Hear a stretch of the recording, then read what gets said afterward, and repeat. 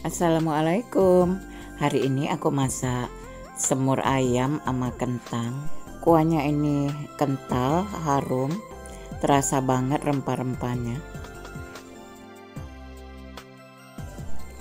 Nah lanjut aja kita masak ya Untuk bahan bumbunya. Ini ada 5 siung bawang putih 4 siung bawang merah, jahe 3 butir kemiri Terus ini ada rempah kering. Isinya ini kayu manis, kapulaga cengkeh, ada juga mericanya ya. Untuk bahan-bahan bumbunya ini semua aku blender aja teman-teman. Terus ini juga rempah keringnya aku pisahkan. Aku ambil merica karena sayang dibuang sama buah palanya. Nah ini masukkan aja ke blender sekalian aja dihaluskan. Tambahkan sedikit air.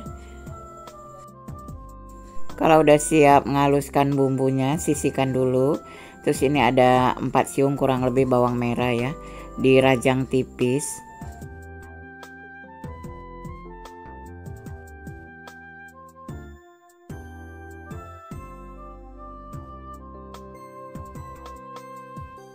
Udahnya panaskan minyak kurang lebih 3 sendok makan.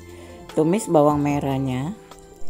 Masukkan sekalian rempah keringnya kayu manis cengkeh kapulaga sama bunga lawangnya ya tumis-tumis lagi sampai nanti dia aromanya harum.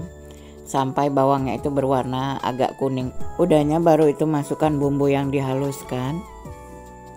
Tambahkan daun salam daun jeruk. Tumis lagi sampai nanti bumbunya matang dan tanek ya. Sampai aroma harumnya tercium. Tambahkan garam kaldu bubuk gula merah. Secukupnya aja sesuai selera ya terus ini tambahkan kurang lebih 3 sendok makan kecap manis ya. Aduk-aduk. Udahnya baru itu masukkan ayamnya. Kentang. Ini aku masukkan kentangnya dari awal ya teman-teman. Karena aku suka itu kentang yang benar-benar empuk. Terus tambahkan satu gelas air. Aduk-aduk rata. Ini aku tambahkan juga tadi setengah sendok teh merica bubuk ya teman-teman. Nah aduk rata masak menggunakan api sedang aja. Nah sambil nunggu ayam sama kentangnya mateng ini aku rajangi daun seledri sama daun bawang ya.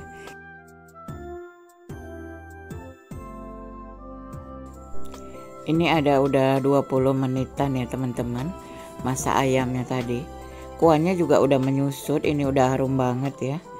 Terus ini jangan lupa koreksi rasa kalau rasanya udah oke okay, baru itu taburi dengan daun seledri sama daun bawangnya ya. Aduk-aduk sebentar sampai daun bawangnya itu layu ya.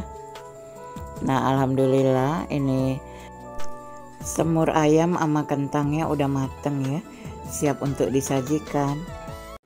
Hai semuanya untuk menu hari ini aku masak tongseng ayam. Ini tanpa santan ya teman-teman. Ini rasanya kuahnya seger banget nggak usah pakai lauk lain lagi ya. Ini aja udah cukup.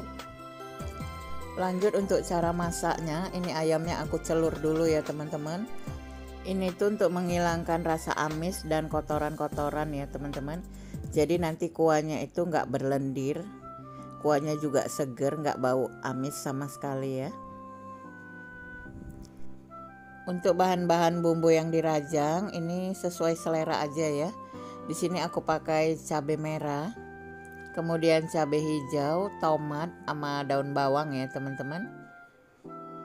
Kalau teman-teman ingin rasanya lebih pedas lagi bisa ditambahkan cabai rawit merah ya.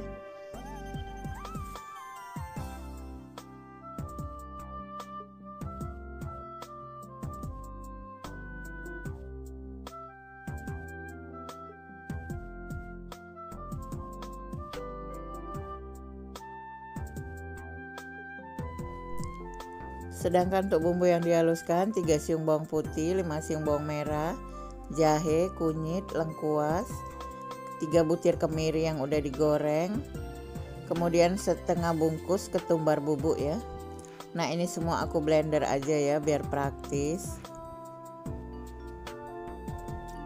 Untuk blendernya tambahkan sedikit air, kemudian panaskan minyak, tumis bumbu yang udah dihaluskan tadi.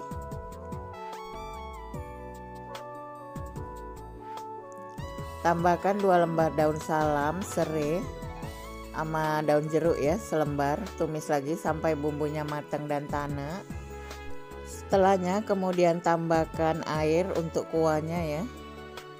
Kalau kuahnya sesuai selera aja ya teman-teman. Nah kemudian tambahkan garam gula kaldu bubuk sesuai selera ya. Nah kemudian masukkan wortel sama ayamnya bebarengan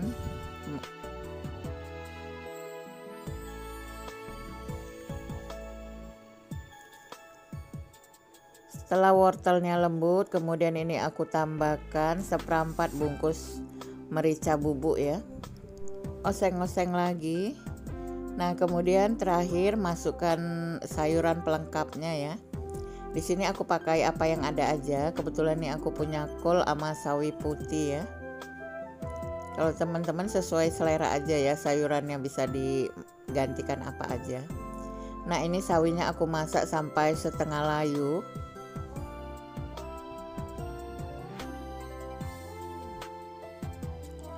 setelahnya kemudian masukkan cabai rajang sama tomatnya. Oseng lagi sebentar ya sampai cabenya layu lagi. Setelah cabenya layu dan mateng ini aku tambahkan satu sendok makan kecap manis. Ini itu aromanya udah harum banget ya teman-teman. Setelah sudah mau diangkat baru masukkan irisan daun bawang ya sekedar layu aja osengnya. Jangan lupa koreksi rasa. Nah ini tongseng tanpa santannya udah mateng ya teman-teman. Siap untuk disajikan. Hai semuanya hari ini aku mau masak oseng-oseng pedes. Pertama ini tahunya aku goreng dulu ya.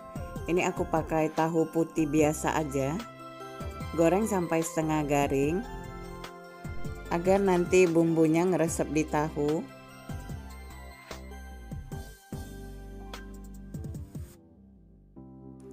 Terus ini terinya juga aku goreng sampai garing ya. Ini aku pakai teri belah yang udah dicuci bersih berulang kali.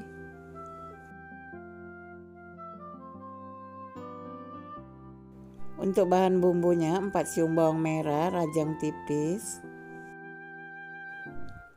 Terus 3 siung bawang putih, cabai merah. Kalau mau lebih pedas lagi bisa ditambahkan cabai rawit ya. Ini aku blender aja. Blendernya tambahkan sedikit air ya. Nah, langkah awalnya ini tumis bawang merahnya sampai benar-benar harum agar nanti masakannya jadi lebih enak ya. Setelahnya kemudian masukkan bumbu yang dihaluskan tadi tumis lagi sampai bumbunya mateng dan tanek tambahkan kaldu bubuk sama gula pasir nggak usah lagi pakai garam ya. Karena nanti masakannya udah pakai teri. Pastinya terinya udah membawa rasa asin ya. Nah setelah bumbunya mateng dan tanek kemudian tambahkan sedikit air. Tambahkan juga saus tiram kurang lebih satu sendok makan ya. Masak lagi sampai kuahnya mendidih setelah kuahnya mendidih ini masukkan kucainya.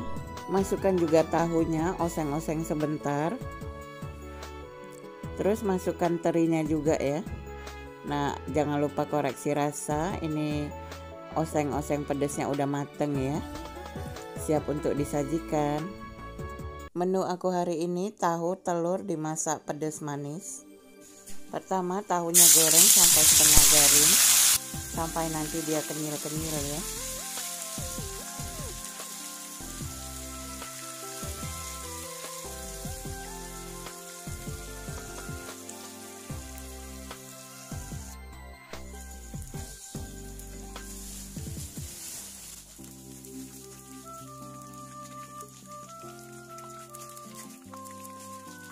Terus dua butir telur diceplok sampai mateng kemudian nantinya angkat sisihkan.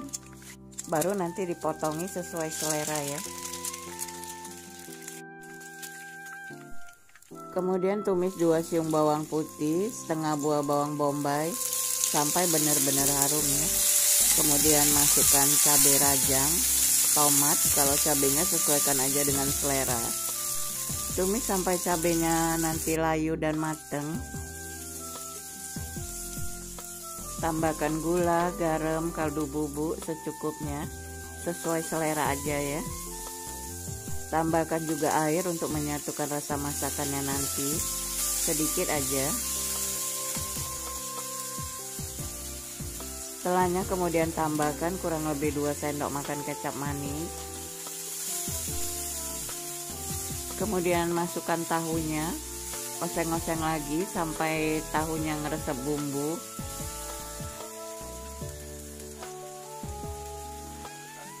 terakhir kemudian masukkan telur ceploknya yang udah dipotongin ya oseng lagi sebentar sampai semuanya tercampur merata terakhir jangan lupa koreksi rasa ya Nah ini udah siap, menunya simple banget ya, cocok untuk sarapan. Hai semuanya, hari ini aku mau masak oseng-oseng pedes. Pertama ini tahunya aku goreng dulu ya. Ini aku pakai tahu putih biasa aja. Goreng sampai setengah garing. Agar nanti bumbunya ngeresep di tahu.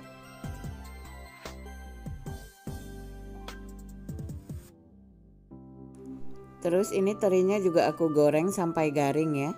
Ini aku pakai teri belah yang udah dicuci bersih berulang kali.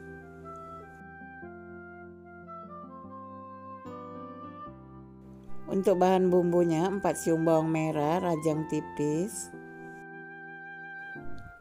Terus 3 siung bawang putih, cabai merah. Kalau mau lebih pedas lagi bisa ditambahkan cabai rawit ya. Ini aku blender aja blendernya tambahkan sedikit air ya nah langkah awalnya ini tumis bawang merahnya sampai benar-benar harum agar nanti masakannya jadi lebih enak ya setelahnya kemudian masukkan bumbu yang dihaluskan tadi tumis lagi sampai bumbunya matang dan tanek tambahkan kaldu bubuk sama gula pasir nggak usah lagi pakai garam ya karena nanti masakannya udah pakai teri Pastinya terinya udah membawa rasa asin ya. Nah setelah bumbunya matang dan tanak kemudian tambahkan sedikit air. Tambahkan juga saus tiram kurang lebih satu sendok makan ya. Masak lagi sampai kuahnya mendidih. Setelah kuahnya mendidih ini masukkan kucainya. Masukkan juga tahunya, oseng-oseng sebentar. Terus masukkan terinya juga ya. Nah jangan lupa koreksi rasa. Ini oseng-oseng pedasnya udah mateng ya. Siap untuk disajikan